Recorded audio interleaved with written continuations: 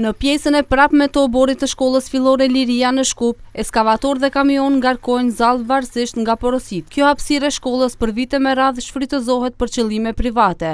Drejtori i shkollës Talat Sadiku, thotë se nuk ka njohuri të sakta se deri ku shtrihet oborri shkollor, edhe pse oborri është i rrethuar me gardh.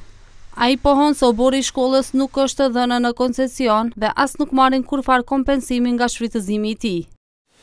Kështu tash ajo hapësirë është e padefinuar ende sepse ne nuk e kemi ende fletëpronësinë e shkollës dhe të dimë saktësisht se cilat pjesë i takojnë shkollës. Përveç asaj ju mund të keni pa disa në shtëpi atë, një shtëpi që është ndërtuar tash, mirëpo sipas asaj që ne kemi dëgjuar është Shtëpia domethënë i takon pronarit dhe vendi nuk është i shkollës por i pronarit.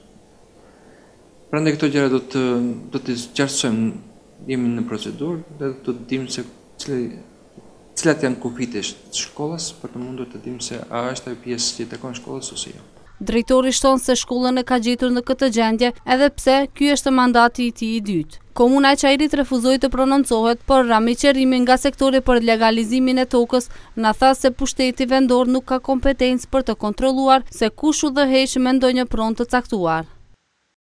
Oborri i shkollës nuk është pronë e shkollës, por është në pronësi të Republikës së Maqedonisë. Ky vend është uzurpuar para 20 viteve, para se komuna të fillojë me punë. I kemi paralajmëruar disa herë dhe tani nuk dimë se çfarë të bëjmë. Në lidhje me këtë uzurpim, ne nuk kemi kompetencë. Kompetencë kemi vetëm për rrënimin e ndërtimeve pa leje. Televizioni 21 deri tani ka regjistruar tre raste të këtilla, ku oborret e shkollave fillore në komunën e Çairit shfrytëzohen për biznes privat. Për shembull, në shkollën fillore Adem Jashari në rrugën Serava, lahen qilima, ndërsa në njërin kënd të shkollës Ismail Qemali është hapur lulishte private.